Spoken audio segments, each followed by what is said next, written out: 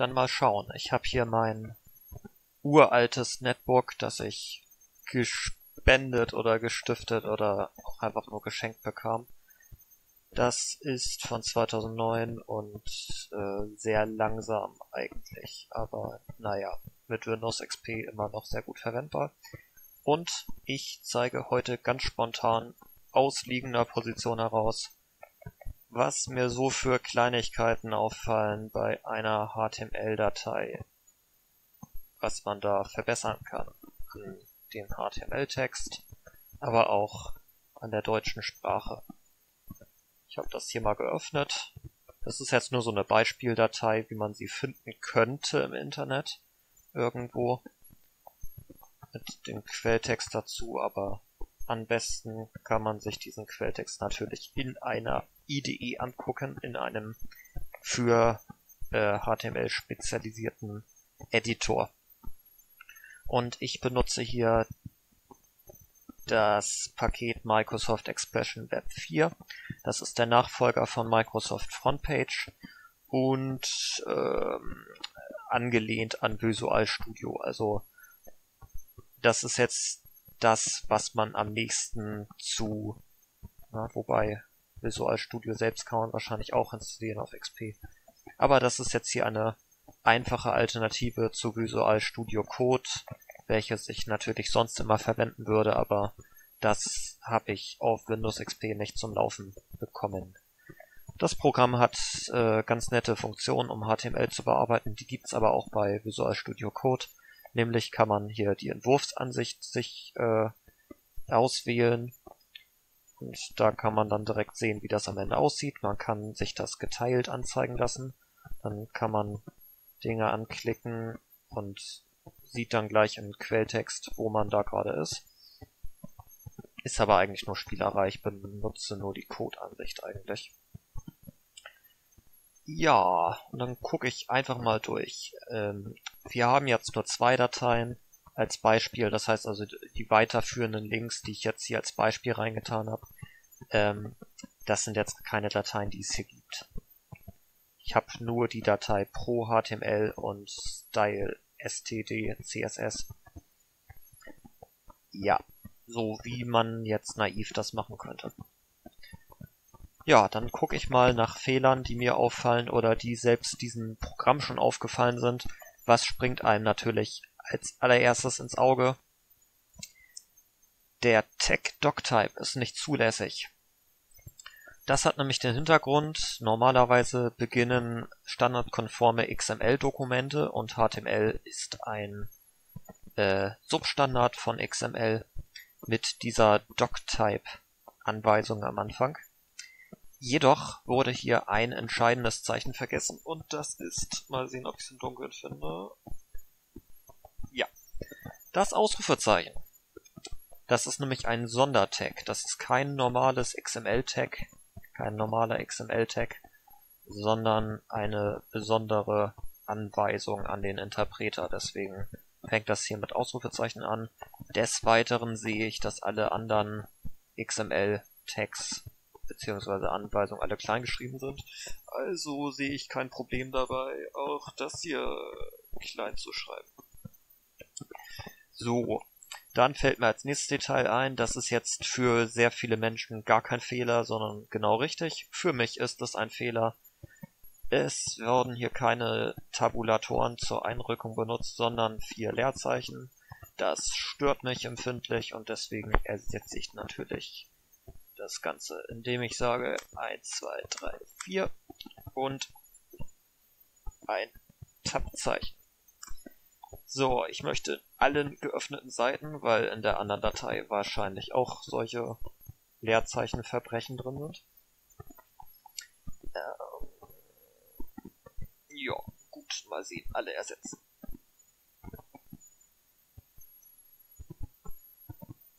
Gut. Was mit der Datei? Wurde das jetzt hier auch ersetzt? Nee. Na, das hat's ja gebracht. Naja, gut, muss ich das halt nochmal machen. Wurde sich hoffentlich gemerkt. Ja.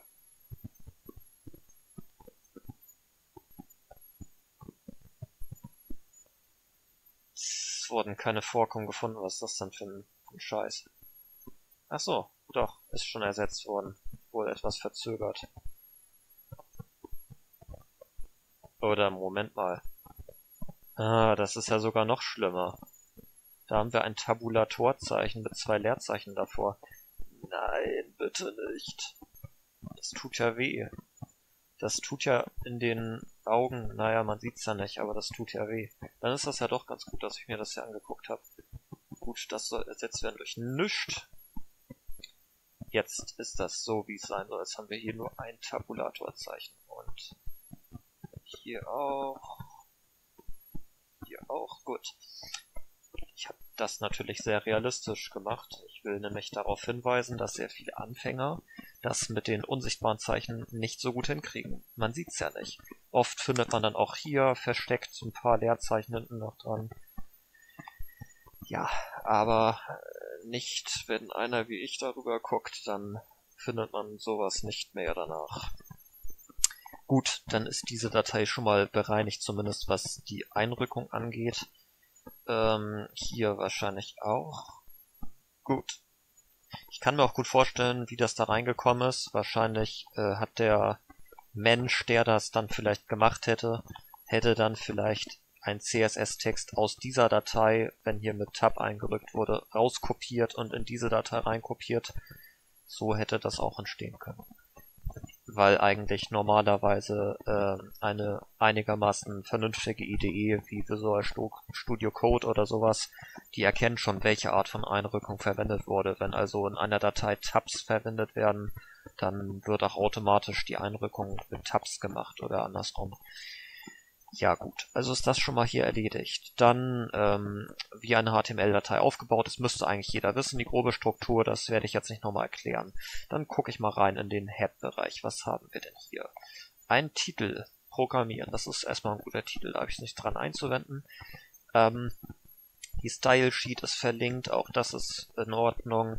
Wäre das jetzt auf einer richtigen Internetseite, auf einem richtigen Server, würde das jetzt würde ich äh, schon empfehlen, hier eine absolute Adresse anzugeben, aber da das nur eine Datei in meinem Zerlegungsordner drin ist hier, ist das völlig in Ordnung so. Ja, Meta charset UTF-8, das ist wichtig, da die Datei hier in UTF-8 codiert ist. Würde man das weglassen, wären Zeichen wie RÖ, Ü, SZ falsch dargestellt. Weil normalerweise ANSI oder ASCII, je nachdem, ob man mit Microsoft arbeitet oder außerhalb von Microsoft arbeitet, das interpretiert werden würde. Und das sind äh, Codierungen, die sind bei den meisten Zeichen wie diese hier äh, identisch, aber sobald es dann zu Umlauten und solchen Zeichen kommt, weichen die dann voneinander ab und dann kommt dann was anderes raus, was nicht rauskommen sollte. Gut, hier haben wir ein Style-Objekt äh, mit CSS-Style drin.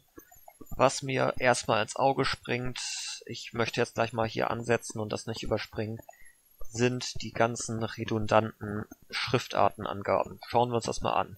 Wir haben hier Helvetica New, Helvetica Arial Sans Serif. Das an sich ist natürlich richtig, das ist eine äh, Folge. Das heißt, wenn es die erste Schriftart nicht gibt, dann wird die zweite genommen und so weiter. Wenn es die zweite nicht gibt, wird die dritte genommen. Das ist, das meine ich damit nicht, sondern ich meine damit, dass wir die gleichen Schriftartenangaben hier haben, hier haben äh, und hier nochmal haben. Und, das habe ich eben gesehen, hier sogar auch nochmal haben. Und das ist schlimm, schlimm, schlimm. Deswegen ähm, nehme ich das mal weg, denn wir haben ja schon an der Stelle hier oben für den ganzen Body, also für das gesamte Dokument haben wir bereits diese Schriftart hier festgelegt. Deswegen können wir an allen anderen Stellen schon mal bedenkenlos, ohne großartig zu wissen jetzt, wo was verwendet wird, das rauslöschen, denn ich weiß, dass es in dieser diesem Projekt hier keine anderen Schriftartenangaben gibt, deswegen kann man das bedenkenlos streichern an der Stelle haben wir schon mal viele Zeichen gespart und vor allen Dingen auch viel Redundanz gespart, was natürlich nicht gut ist, denn wollten wir jetzt die Schriftart verändern später, würden wir uns jetzt entscheiden, eine andere Schriftart zu benutzen, müssen wir jetzt nur diese eine Zeile hier verändern und in dem anderen Fall hätte man bei jeder einzelnen Klasse bei jeder einzelnen Angabe das verändern müssen. Ja, welches Detail springt mir als nächstes ins Auge? Ähm, dass wir hier bei der Schriftgröße nur eine Zahl haben. Ja, das wird schon hier richtig gewarnt. Man sollte Schriftarten, wenn sie in Pixeln angegeben sind, davon gehe ich jetzt mal aus. Ähm, wobei ich mal gucken möchte. Also das, da muss ich jetzt passen, ob das jetzt eine Schriftart... Gut, ich setze jetzt mal P, äh, PT oder PX. Ich setze mal PX an, mal gucken, wie es aussieht. Ob das irgendwie anders aussieht jetzt. Hm, tut's wahrscheinlich nicht, übersehe es und verkackt total. Naja. Alternative, ich möchte jetzt auch über das Design gar nicht urteilen, das ist jetzt nur irgendein Beispieldesign. Man könnte sich sicherlich bessere Farben und so weiter aussuchen. Ja, ich nehme jetzt mal PT. Zur Differenzierung, PT steht für Punkt, PX steht für Pixel. Punkt ist eine uralte Einheit aus der Schriftsetzung und die ist abhängig von der Pixeldichte des Bildschirms. PX genau gesehen heutzutage auch. Aber es ist einfach eine andere Einheit und man sollte Maßangaben, also Längenangaben, Größenangaben immer mit einer Einheit angeben. Ähm, eine Zahl einfach nur so hinzuschreiben, das war vielleicht irgendwann früher mal erlaubt, aber das ist nicht mehr äh, konform mit der Norm, wie ja auch eben da stand. Ich will jetzt mal erstmal gar nicht gucken, was jetzt die einzelnen Klassen hier sollen, ob man die auch wirklich braucht und so weiter und warum die nicht alle in dieser Datei hier drin sind. Das ist jetzt erstmal egal. So, ich werde schon genug andere Sachen finden, glaube ich. Gut, hier haben wir die Klasse Mittel. Ich interpretiere daraus. Ja, genau. Also, diese Klasse Mittel soll einfach nur dafür sorgen, dass der Text in der Mitte steht. Gut. Gibt's eigentlich irgendeine Standardausrichtung hier? Ja, ach hier, hier haben wir doch Mittel schon. Na gut, und Text Align Left steht hier für den Body. Das kann man weglassen, der Body ist immer nach links ausgerichtet normalerweise. Und solange wir dem keine andere Klasse geben, müssen wir das hier nicht hinschreiben. Ja, Mittel haben wir hier, also können wir Mittel hier rausstreichen. Das ist natürlich jetzt ein Film nur für Perfektionisten. Den normalen Menschen auf der Straße sollte das eigentlich nicht interessieren. Ähm, weil das sehr viel kleinlicher Kleinkram ist. Ach, schau an. Da haben wir auch 30, 30 PT. Also äh, lag ich richtig mit meiner Schätzung, dass wir hier die Einheit PT verwenden in diesem Dokument. Gut, Background Color ist gut. Ähm, als kleines Detail, man kann das Color weglassen, das wird von selbst erkannt, ist eine Farbe. Es ist ein bisschen einheitlicher, finde ich. Ähm, dann natürlich das Detail, dass wir hier Leerzeichen davor haben und hier nicht. Also mache ich auch eins hin und das schadet auch nicht, hinter den Kommas nochmal Leerzeichen hinzumachen. Um das ein bisschen sauberer zu haben. Ja. Hier hinten fehlt ein Semikolon. Ein Semikolon? Ist das ein Semikolon? Ja, das ist ein Semikolon. So, Also ich habe jetzt, jetzt, jetzt habe ich nicht mitgezählt, aber es waren bestimmt schon zehn Fehler, die ich hier gefunden habe. Wobei Fehler natürlich in Anführungszeichen hier steht. Das ist alles ein reiner Spaß. Natürlich mit ähm, faktischem Hintergrund. Gut, ähm, dann überlege ich mal weiter. Wir haben jetzt also die Klasse Mittel. Wenn wir etwas in der Mitte stehen haben wollen, dann kommt das in die Klasse Mittel rein. Jetzt stelle ich mir wahrscheinlich die berechtigte Frage, warum haben wir dann hier noch Text Align Left? Denn das sind ja ähm, Klassen, die wendet man an auf Blöcke und stehen jetzt hier keine links ausgerichteten Blöcke in zentrierten Blöcken drin. Deswegen können wir diesen Scheiß auch wieder löschen und haben jetzt nur noch die Schriftgröße da. Dann kann man wahrscheinlich auch direkt die Schriftgröße bald übernehmen und diese Klassen komplett streichen. Aber da werden wir zu kommen. Mal schauen. Wir haben hier die Überschrift von der Seite und die soll in der Mitte stehen. Jetzt ähm, fällt mir gleich als erstes auf, wenn wir jetzt eine Internetseite haben mit mehreren äh, Dokumenten, die sich alle dieses Style Sheet hier teilen, dann stelle ich mir schon die Frage, warum wir dann in der einen Datei die Überschrift, also die Seitenüberschrift in der Mitte haben und in anderen nicht. Haben wir wahrscheinlich nicht, äh, genau. Um das einheitlich zu haben, würde man natürlich alle H1-Objekte auf der ganzen Webseite zentrieren. Und darum verwenden wir dann auch gleich direkt den H1-Tag.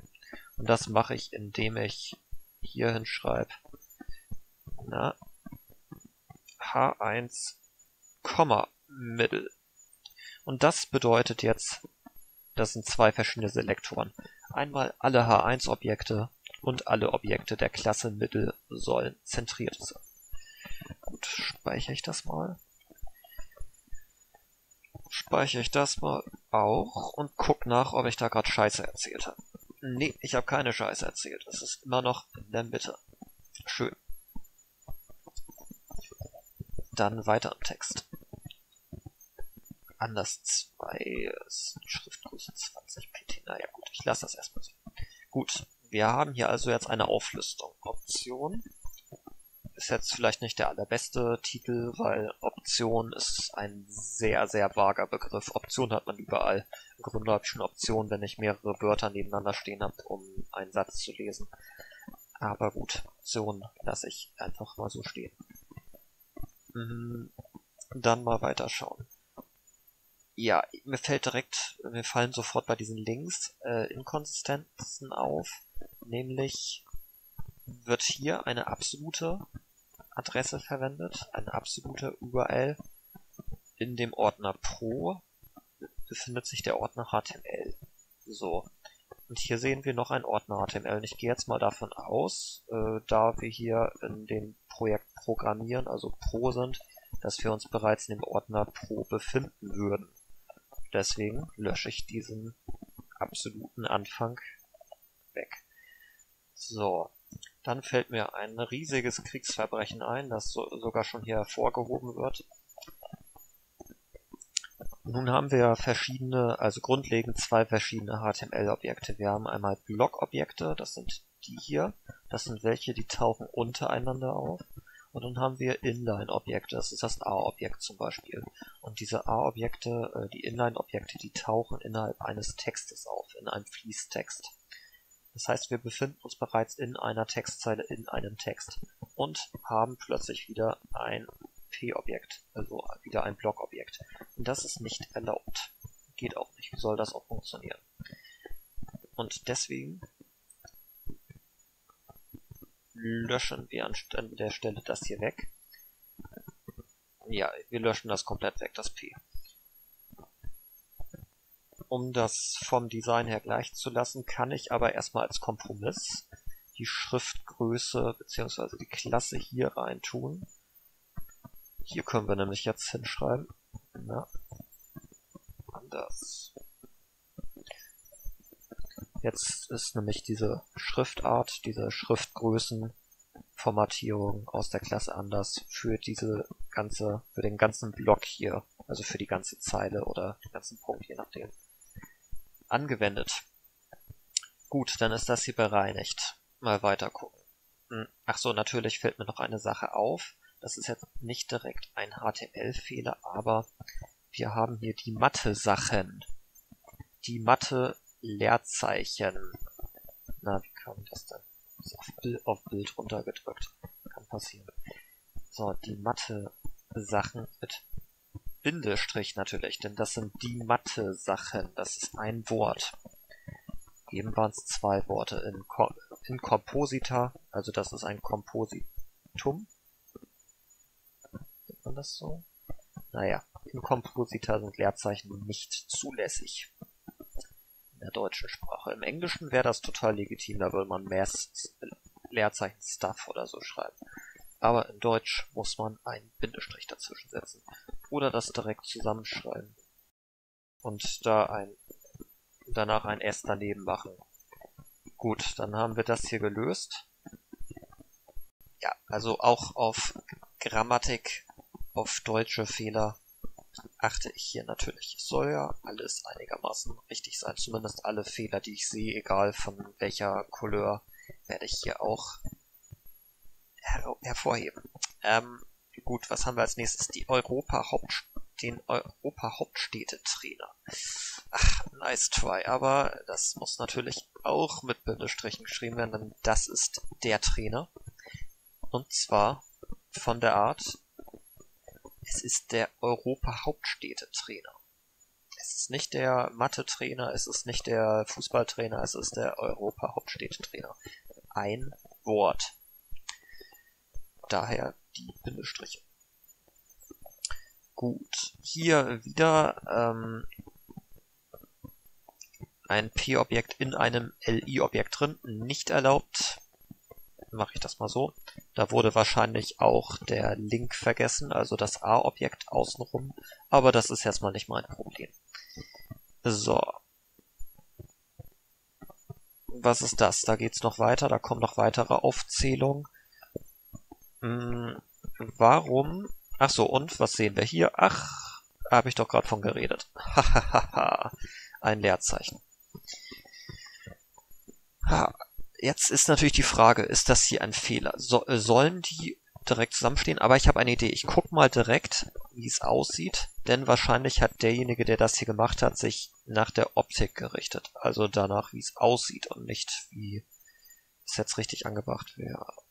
Äh, also hinter Anleitung zu HTML haben wir da eine Lücke. Hm. Ach ja, verstehe. Hm.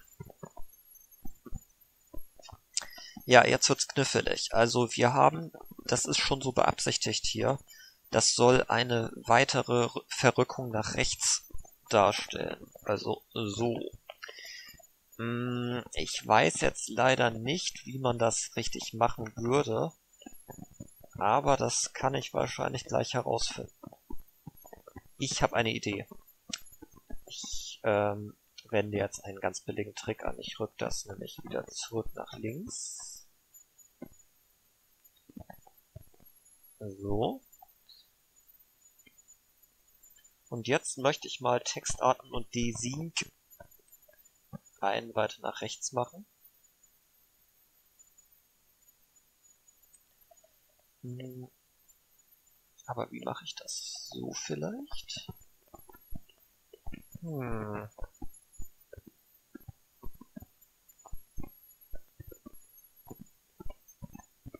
Oder auf Tab drücken.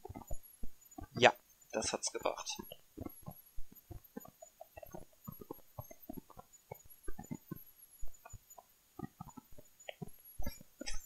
Na toll. Ah, ja, ja, ja, ich verstehe. Jetzt verstehe ich das. Ähm, das UL befindet sich innerhalb des LI-Objekts. Interessant. Das wusste ich gar nicht. Jetzt weiß ich's. Gut, also soll das so aussehen, wenn man ein weiteres Mal einrücken soll. Gut, dann habe ich ihm gerade auch was dazu gelernt. Kommt vor. Dann, ähm, ich ja, ich lasse das mal so. Jetzt ist das etwas uneinheitlich, weil jetzt das in mehreren Zeilen ist und die anderen Sachen stehen nicht in einer Zeile. Aber naja, gut. Ich lasse das jetzt mal so. Äh, natürlich wird noch dieser Schreibfehler, wer des Französischen mächtig ist, weiß natürlich, dass das Design so geschrieben wird. Wobei ich nicht weiß, ob das Französisch ist, aber es wird jedenfalls so geschrieben. Es wird nicht Desig, sondern Design geschrieben. Ja. Gut, die Links sind einheitlich. Hier habe ich erstmal, nein, nicht nur erstmal, hier habe ich gar nichts dran auszurichten. Das ist super so. Übrigens am Rande angemerkt, ähm, es gibt sicherlich viele, die darauf bestehen, bei HTML ähm, Objekteigenschaften Werten immer Anführungszeichen zu verwenden. Hier sieht man jetzt gerade, dass hier nur da welche benutzt werden, wo es notwendig ist, nämlich zum Beispiel, jetzt muss ich ganz schnell ein Beispiel finden. Finde ich ein Beispiel? Mhm, natürlich finde ich kein Beispiel. Ah ja, doch, hier. Wobei ich, kann man das nicht sogar auch wegmachen? Äh, ich glaube ja. Ich glaube nicht, dass ein Bindestrich ähm, ein Verstoß ist gegen XML. Gut. Man kann die weglassen. Ich finde das auch gut, dass man sie weglässt, weil ja Platz gespart und solange das richtig hervorgehoben wird, sieht man ja auf einen Blick, was Bestandteil eines Wertes ist und was eine weitere Eigenschaft ist. Jetzt natürlich die Frage, ähm, ob wir das ja auch ändern sollen. Ich würde mal sagen, ja. Das ist, da, da muss ich jetzt passen. Ich habe jetzt natürlich diese Datei nicht, um die auch umzubenennen. Na gut. Da unten haben wir wieder ein anders, also einen größer geschriebenen Text. Auch hier wieder das gleiche. Und auch hier wieder kein Link. Aber das wird man dann ja später sehen.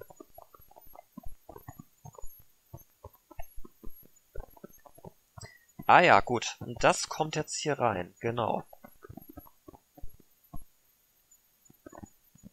Das soll hier drunter stehen. Das ergibt auch Sinn, denn schließlich Anleitung zum Arduino und LED-Blinker und sowas. Da denke ich jetzt mal, dass das da rein gehört.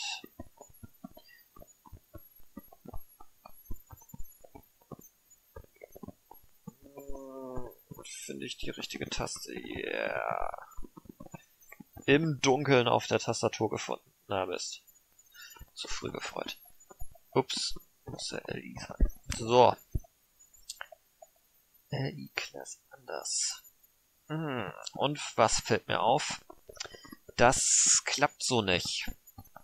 Das klappt deswegen nicht, weil ich jetzt die Formatierung für den ganzen Block übernommen habe, also die Schriftgröße. Und die Schriftgröße wird vererbt. Also sind alle, auch die Unterblöcke sind hm, deswegen groß und dick. Aber wir wollen ja nur die Überschrift hier oben dick haben. Ähm, wie machen wir das dann? Hm, das machen wir, indem wir das in ein Span-Objekt reintun.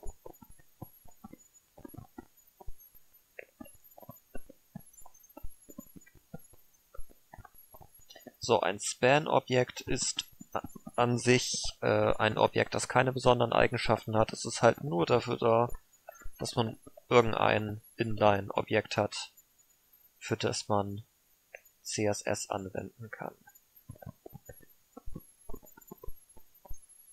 Also hätten wir jetzt hier ein A-Objekt oder sowas, hätte ich das benutzt, aber nur um irgendwie diesen Text hier zusammenzufassen in einem Objekt, ohne daraus gleich einen Block zu machen. Und den Kram hier kopieren wir uns jetzt einfach und fügen das auch da oben ein. Ich verstehe, das sollen hier also die Überschriften sein für die für die Aufzählung. Also die Punkte höherer Ordnung sollen etwas dicker, etwas größer erscheinen.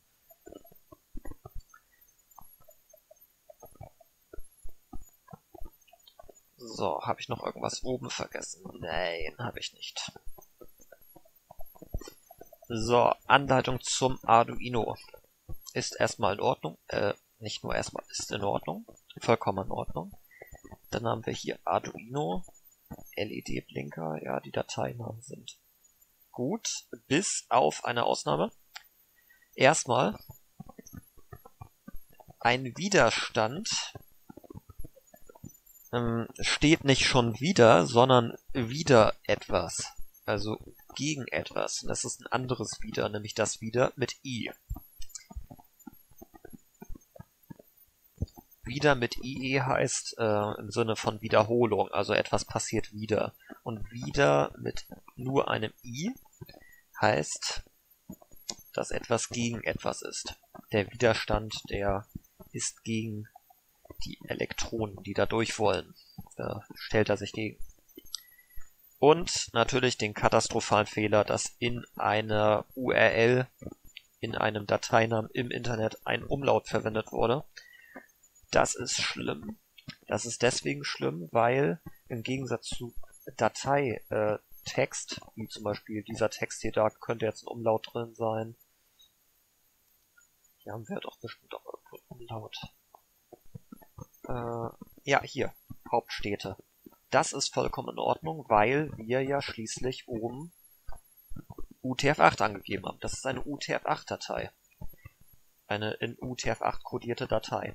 Da gibt's natürlich ein Ä.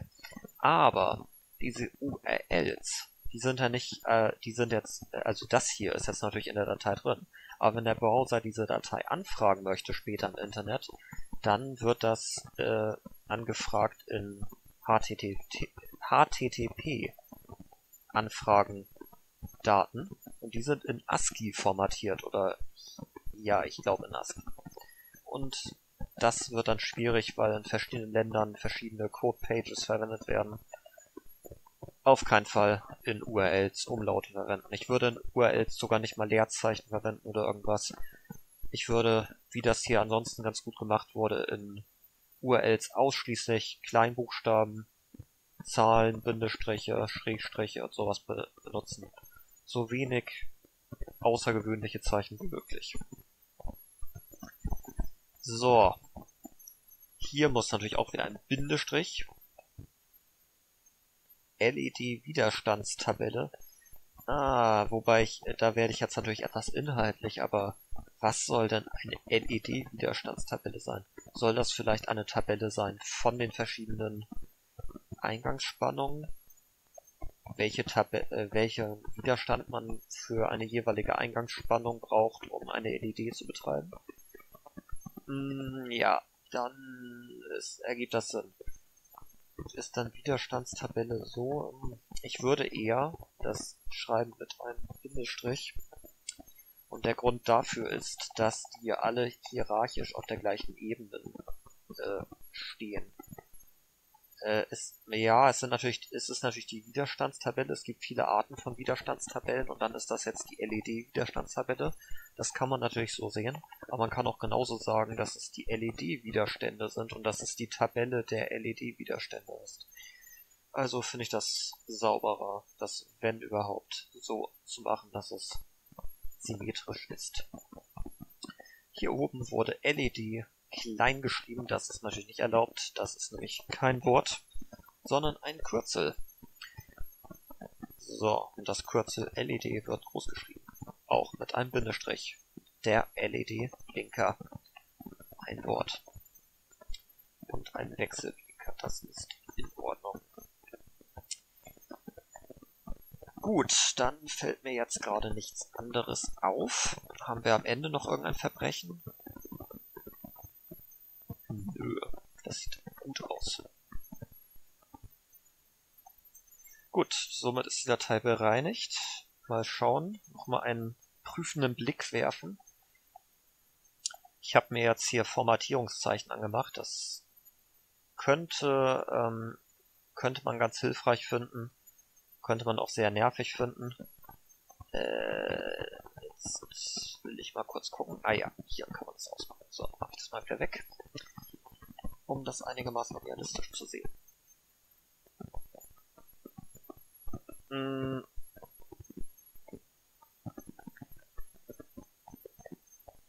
Könnte es vielleicht sein, dass die Schriftartgrößen irgendwie immer noch durcheinander sind? Mal kurz überlegen. Welche Standardschriftgröße haben wir? Ah, dieser riesige, kein Wunder. Ah, ich frag mich noch, warum der Text so groß ist. Das würde ich auf keinen Fall machen so. Aber, also ich würde immer eine normale Textgröße benutzen, also 12 pt. 12 pt ist sogar die Standardschriftart, die Standardschriftgröße im Web und überhaupt. Deswegen würde ich hier gar keine Font Size angeben im Body.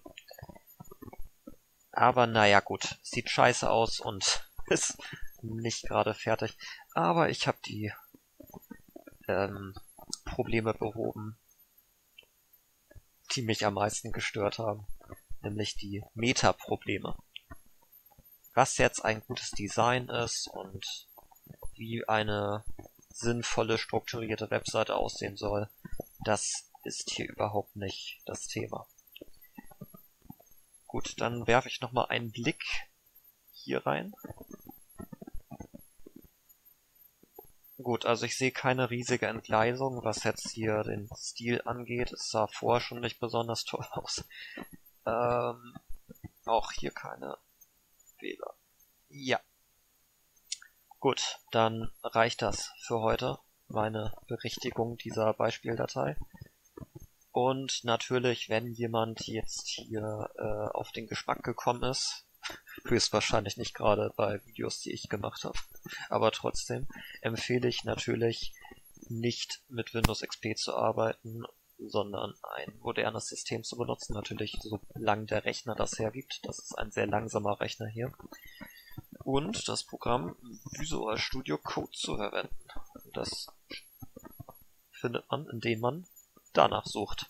Und das Programm ist kostenlos, kompakt und auf jeden Fall viel besser als das hier.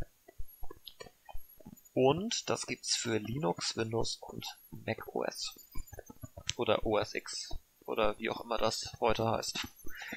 Ja. Das war's von eurer... Nee, das sage ich jetzt nicht. Ja, das war's. Und tschüss.